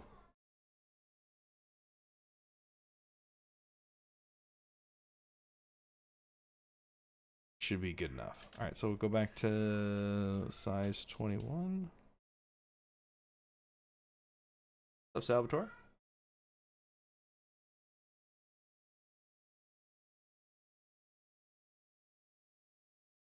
Okay. And we'll go back to our root brush.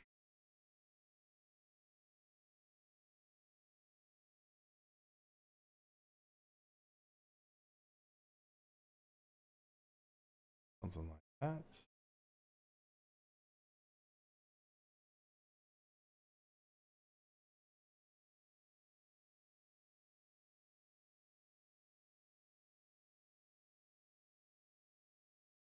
Sorry, my my daughter's maybe a little bit loud out there today.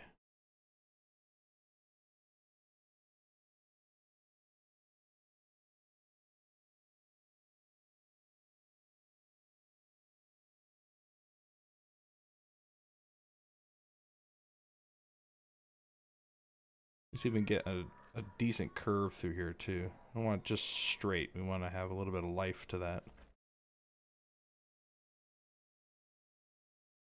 Also doesn't curve up before hole's taut.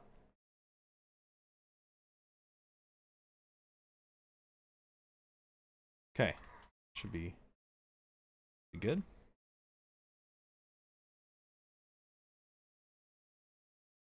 Okay, we'll do split unmask, turn that off. All right, and then now we have, uh, we can come in and do just general edits too.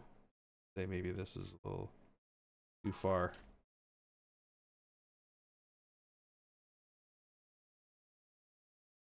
Add just a little bit more curvature in there.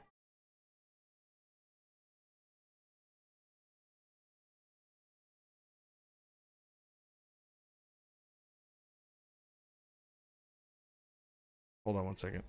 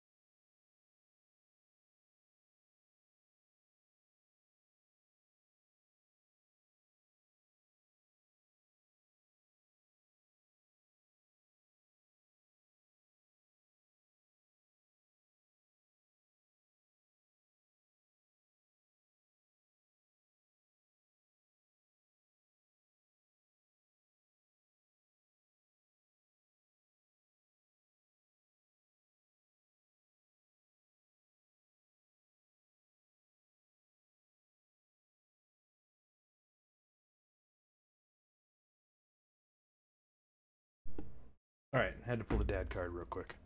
All right, uh, let's see. All right, so now we need to. Um, hi Shane, thanks for stopping by, dude. Good to see you. Thanks for dropping by. Hope everything is well. Take care.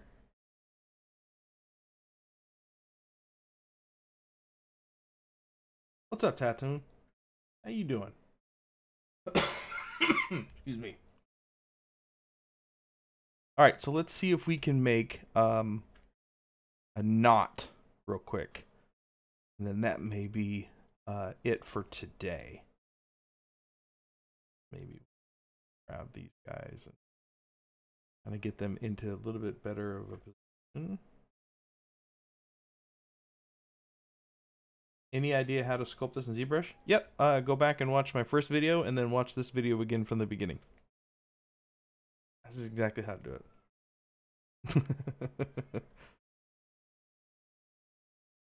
All right. Uh, so let's let me think real quick. So what I want to do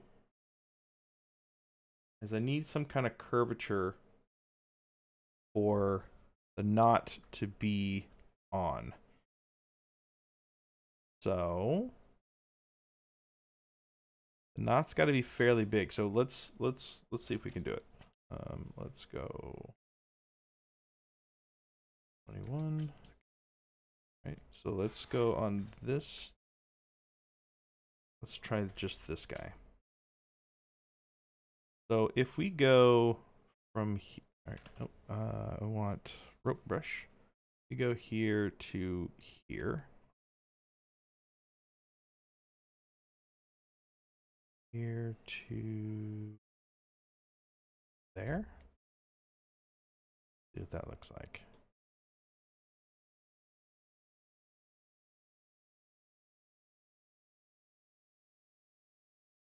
See if we can just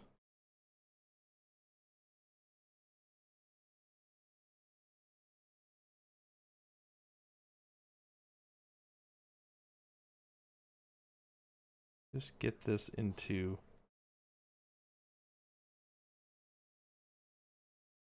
something resembling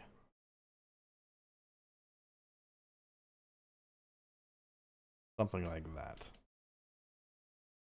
All right, and then maybe if we split unmasked, we take that and then we duplicate it.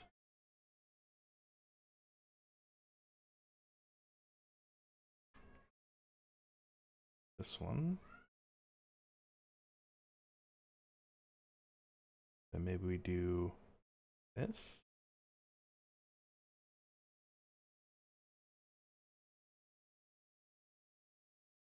I don't know if that one's going to work. Maybe we'll have to draw a new.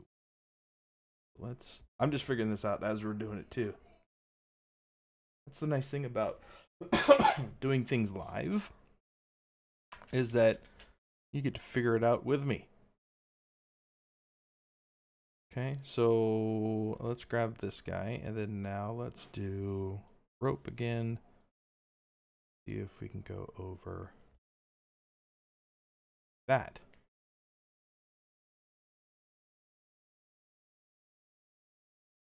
before we do that, well, why don't we grab this guy? Let's turn him this way. Then now when we do this one, he can go over like that.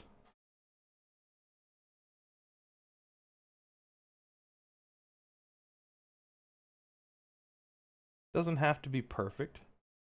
And we can fidget with it later just has to get the idea that it's a knot.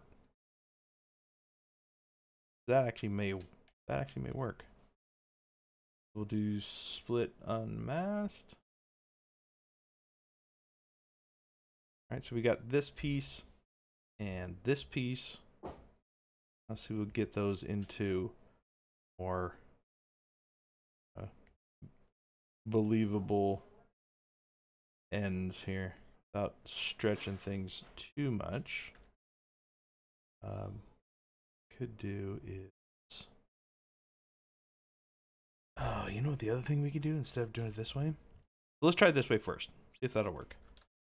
We'll say, all right, this is comes up like that, and then it comes over. We got this kind of nice height happening. And then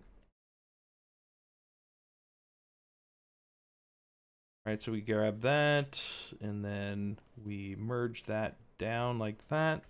We say, okay, cool. That's my piece. Now I'm going to make an insert mesh brush. Say new. Now we can come in and just go, oh, I want to earn insert mesh brush right there.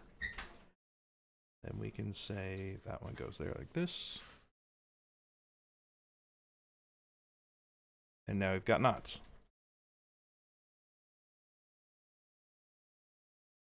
Then one here.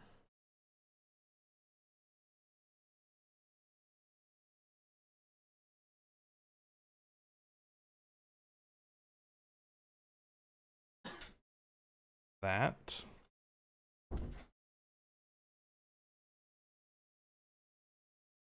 Or we could just take the same one, since it's sized the same. Because if we drag it on there, we don't necessarily know it's this size. So instead of making it an insert brush, we could just go um, make that all one poly group. It's actually maybe easy. We grab that guy, move that there, and then we use the um, Control Alt move, and that duplicates based on your um, polygroup set.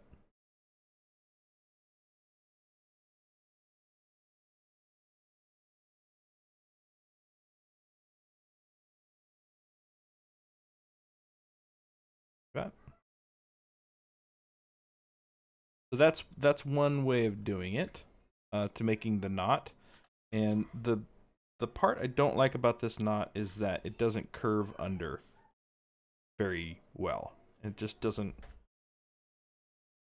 doesn't feel quite right.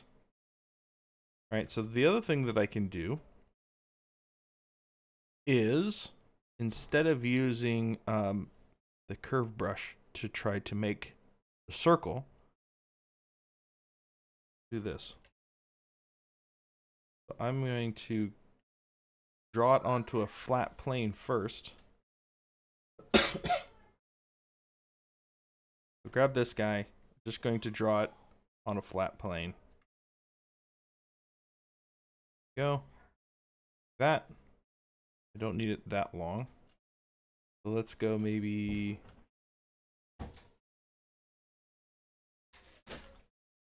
one more.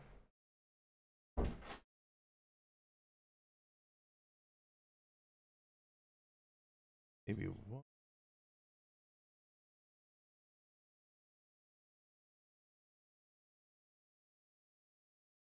I'm going to grab the end. I'm going to drag and then I'm going to hold shift to make sure that it's straight and then we'll grab that. There you go. All right, so let's say I have that. Cool, great. Now what I'm going to do with that? Uh, I'm going to isolate it. Turn that off. All right, so now I have something that's straight. Now instead of using the brush to do it, I'm going to actually use the bend curve function curve resolution. Let's do that. Right. So now I can use bend curve. Oops. Uh, I'm going to hit Shift C to lock my camera to get this circle.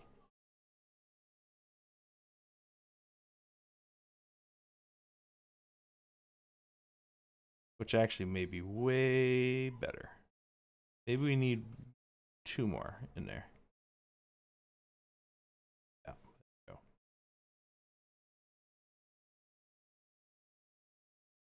So maybe we'll just make these little circle doodads. Yeah, bend curve is like for the win, man. Yeah, the anchor points are great too. Um, but I am not on 2023 at the moment. Great reason to update though. That anchor brush is going to save, especially for um, posing. Oh man, yes. All right, so we'll do accept, and then now I have have my rotate uh, my, my rotate the piece there. All right? so uh, we come in. Let's do um, that, and then we'll go this. And then we'll do um, Control Alt and Control Alt up to make a new one and then we'll rotate like that. And then do something like that.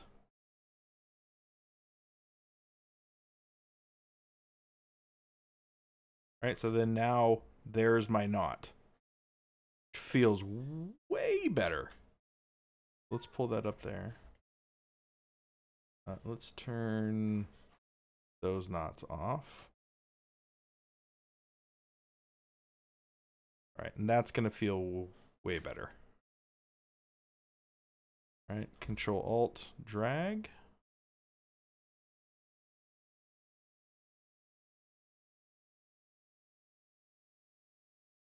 There we go. Control Alt drag. Okay. All right, so I got to start wrapping up. You guys have any uh last questions? Now's the time.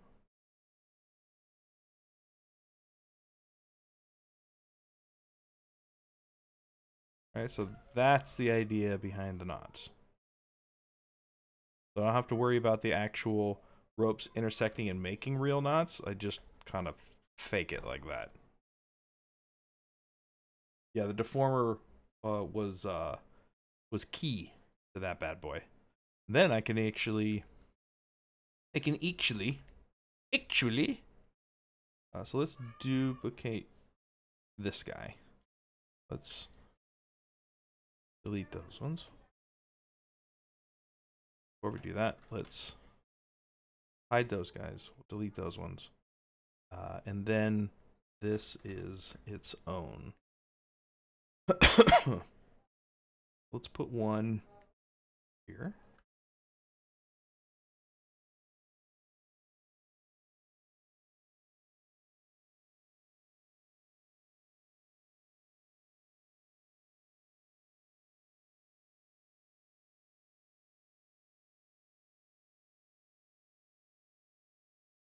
Yeah, there we go. Now we're cooking. Now we're cooking. Uh, let's duplicate that guy. One over on this one. Where's the end? End is on that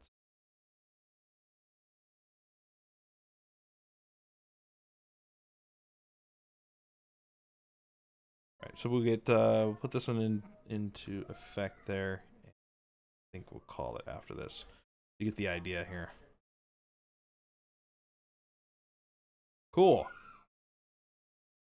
Make some good progress today. Um, I think we're going to wrap it there. So this is the size comparison here. Um, this dude is by um, Flesh of Gods, which is great uh, miniature company that does monthly Patreon miniatures. Take a take a, a good look at those guys. They uh they um, make some amazing stuff. Flesh of Gods. Um, uh, the next one will probably be next month on the Pixologic channel. Um, so keep an eye on the um, Pixologic schedule, or you can follow me on my personal channel. Uh, and I may be doing some work over there. So let me put that into chat here real quick. E forward slash Brendon. Yeah. Thanks. Let me spell it for you. Um, also, if you'd like, uh, you can check out um, Clinker Built Studio website. Um, been doing a lot of uh, commissions and painting of miniatures of all kinds. Um, so that is www got clinkerbuiltstudio.com. So take a look at over there. Um, and uh, yeah, that was fun. Uh, so if you want to follow me on my personal channel, I'm maybe doing some work over there. Um, and we will be back soon.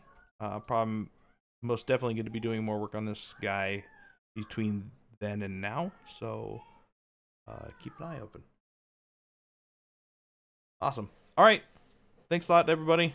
Have a great one. Enjoy the rest of your weekend and hope you had fun. Hope you guys learned a couple things, but most of all, I hope you were inspired to make your own cool, stuff. Get out there, make some cool stuff. That's what Brendon said. All right. See everybody.